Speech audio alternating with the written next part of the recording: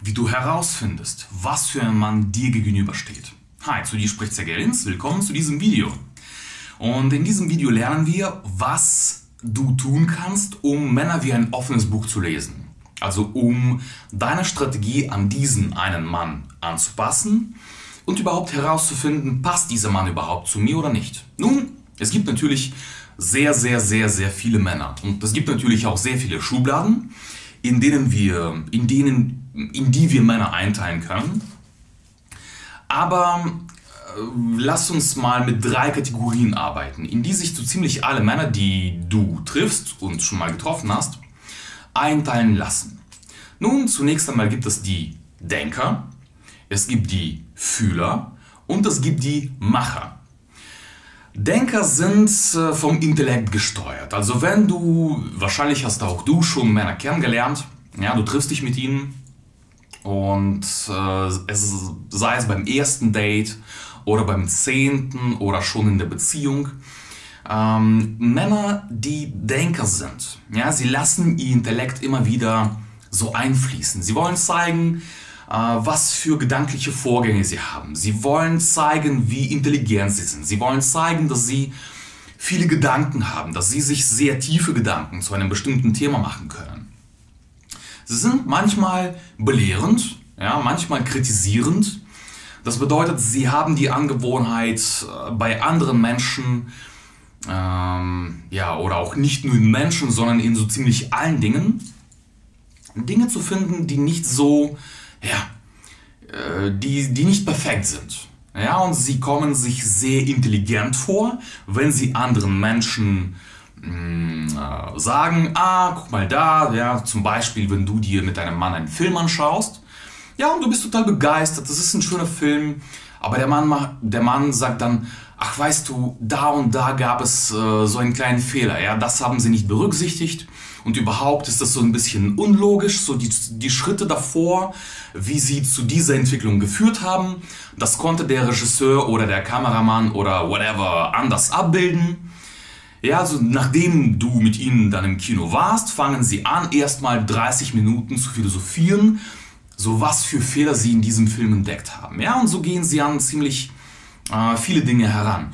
Nicht unbedingt, weil sie, äh, weil sie tatsächlich so einen krassen Verstand haben, der das, der das sieht, sondern sehr oft, weil sie dir gefallen wollen dadurch, dass du, also dass sie wollen der Mann sein, der, aha, so intelligent ist und der versucht halt sich als Denker zu positionieren. Er versucht als Denker zu brillieren vor dir.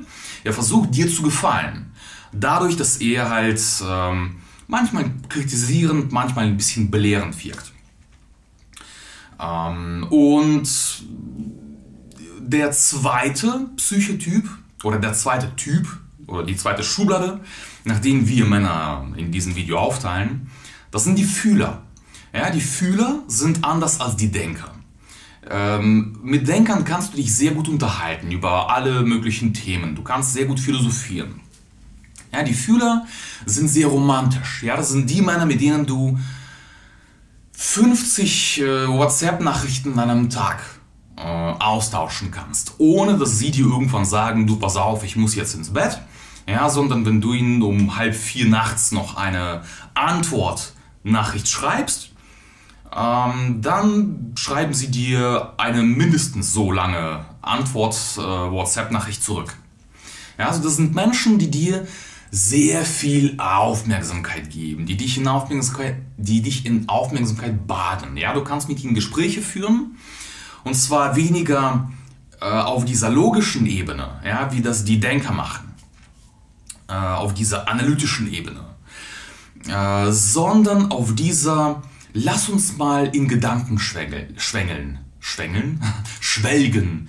Lass uns mal darüber nachdenken, wie die Welt sich entwickeln könnte, wenn wir Faktor A dazugeben würden. Ja, wenn zum Beispiel, keine Ahnung, ja, äh, ja, alle Menschen aufhören würden, sich gegenseitig umzubringen und das Hungerproblem wäre gelöst und äh, in was für einer Welt wir leben würden, wenn die Sonne die ganze Zeit scheinen würde, ja, wenn die Blumen wachsen würden und wir alle Händchen haltend, nackt und uns liebend äh, in dieser Welt fortbewegen würden. Ja, also Das ist jetzt ein Extremfall, ja, aber mm, ich möchte durch diese Dramaturgie betonen, in, welche Richtung es geht. Ja, die, ähm, das sind oft sehr romantische Liebhaber, weil sie dich fühlen, weil sie deinen Körper fühlen. Ja, sie, sie haben Spaß daran, dir Spaß zu bereiten. Sie wollen nicht nur einfach nur machen und äh, fertig, sondern sie ähm, ihnen liegt sehr viel daran, dich zu fühlen, ja, also was in dir vorgeht. Sie, du kannst mit ihnen stundenlang reden über das, was dir heute passiert ist, ja, also wenn du ihnen äh, die Tasche zeigst, die du gekauft hast, dann äh, kommen sie eine Stunde aus dem Staunen nicht raus und sagen, oh mein Gott, ja, dieser Teil, oh, das ist so göttlich und dieses kleine Ding, ja, das ist so fantastisch und die Schrift, oh mein Gott, ja, das ist, ja, da hat sich der Designer was wirklich einfallen lassen, ja, und äh, also ihnen wird nicht langweilig bei diesen Gesprächen, äh, im Gegensatz zu Machern, ja. Die Macher, das ist die dritte Kaste der Männer, das sind Männer, die machen, ja, sie sind nicht so romantisch wie die Fühler, sie sind nicht so, ja, sie labern nicht so wie die Denker. Ja, das sind keine Laberbacken. Sie sind oft, sie kommen oft unter dem Radar. Ja, sie versuchen nicht zu zeigen, äh, wie klug sie sind. Ja, sie, versuchen nicht zu, sie versuchen nicht zu zeigen, was für ein intellektuelles Genie er ist. Ja, sondern die Macher, die operieren mit ein, mit ein paar Möglichkeiten. Sehr oft machen sie das auch allein. Also sie denken sich irgendwas aus und dann arbeiten sie daran, es zu machen. Ja, und anstatt äh, sie, naja, mh, anstatt allen Menschen zuerst mal zu erzählen, was das für eine Idee ist, die sie haben und wie toll das ist, ja, wie Denker das zu tun. Und da habe ich mir was einfallen lassen, das wird der totale Hit und das wird die Welt revolutionieren und bla bla. Ja, und äh, das sind oft die Denker jetzt, ja, das sind oft Menschen, die ein Buch schreiben wollen, ja, seit 20 Jahren, die aber ganz genau wissen, wer oder was sie daran stört. Also wäre Faktor X, Faktor Y, Faktor Z nicht, dann hätten sie schon längst das geschafft, was sie schaffen könnten, wenn nicht Faktor X, Y, Z wäre. Ja, Macher sind ein bisschen anders drauf. Macher, die machen. Macher sind nicht so gesprächig wie die Denker, wie die Fühler. Sie sind nicht so romantisch wie die Fühler. Aber bei den Machern steht die Handlung im Vordergrund. Ja, sie realisieren sich durch, sie definieren sich durch Aktionen, durch Resultate, durch gewisse Ergebnisse, die sie haben. Macher haben eine Angewohnheit zu helfen. Das bedeutet, sie also manchmal lernen sie das im Kindesalter.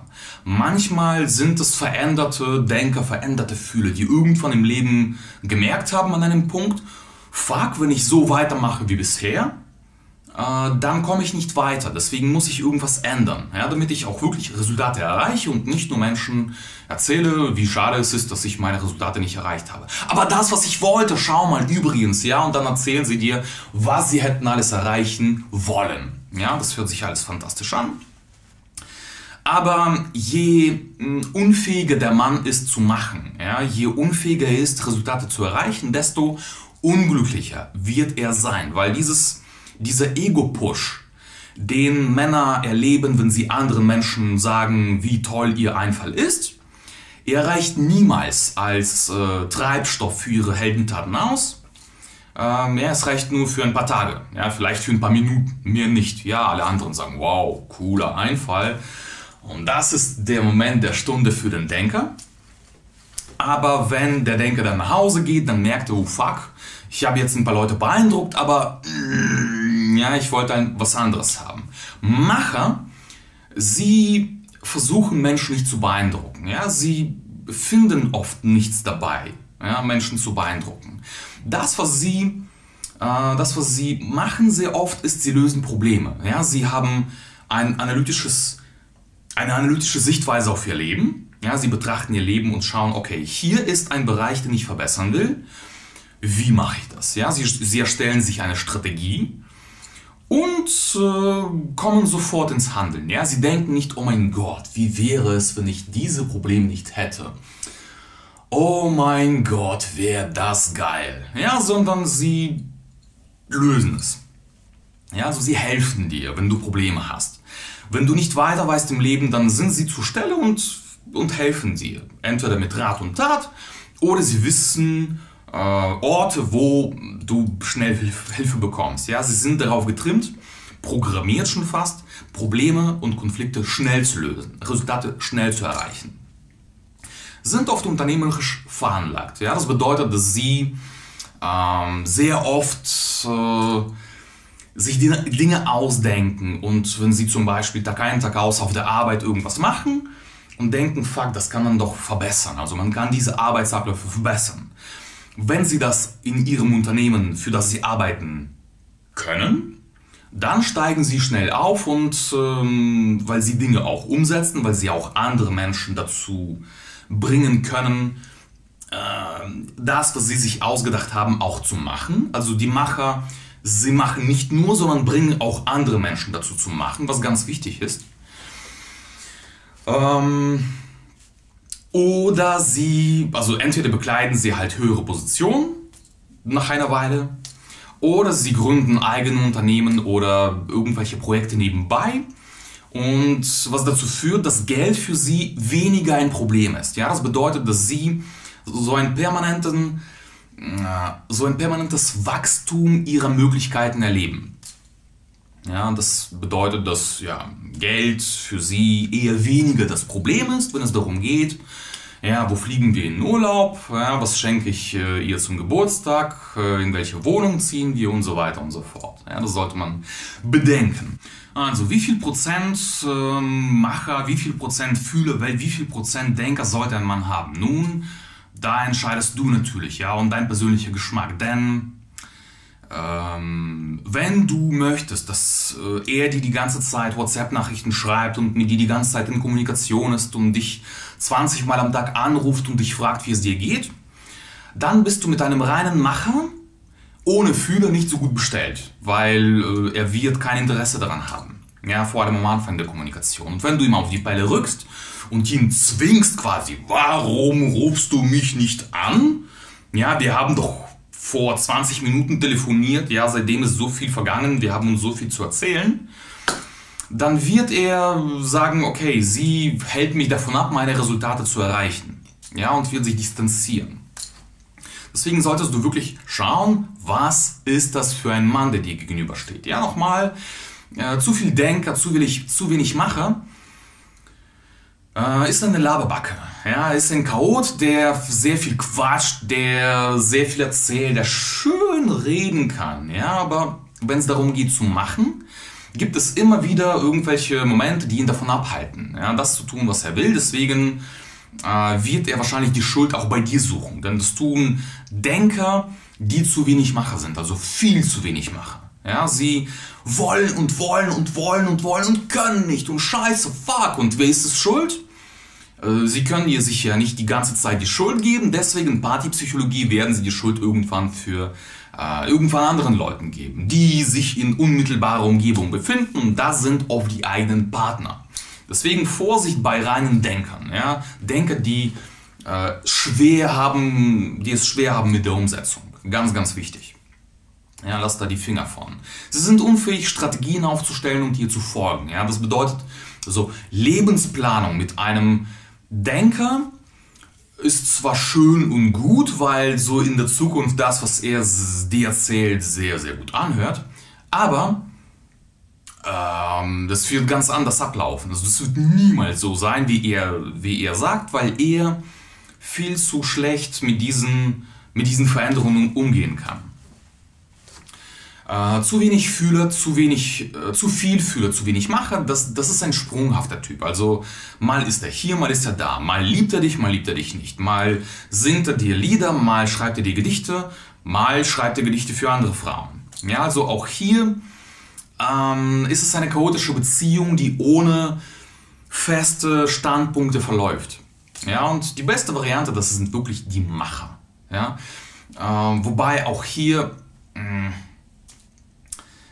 so, wenn ein Macher keinen Denker in sich hat, ja, dann, dann hat er kein strategisches Denken. Dann, dann, mh, mm, ja, erst wenn das Denken dazukommt, hat, er, hat der Macher eine Strategie. Ja? Der fängt nicht sofort an zu machen, ja? er hat keinen einen Gedanken, oh mein Gott, ja, das muss ich unbedingt machen. Und impulsiv fängt er an, so irgendwas zu machen, ohne Plan, ohne Sinn. Nach 20 Minuten wird es ihm zu viel, weil er sich verliert in Sachen. Ja? Und dann, dann, äh, dann, dann lässt er das. Deswegen, ja, so ein Macher, der kein Denker ist, der zu wenig vom Denker hat, verdient zu wenig. Ja, der verdient zu wenig als das, was er sich wünscht, ja, weil er über eine gewisse gläserne Wand, gläserne Mauer nicht hindurchkommt, weil dafür gewisse Skills vorhanden sein müssen. Ähm, und wenn ein Macher zu wenig vom Fühler hat. Ja? Wenn, wenn ein Macher nicht fühlt, ja, du kennst diese Roboter, du kennst diese Maschinen.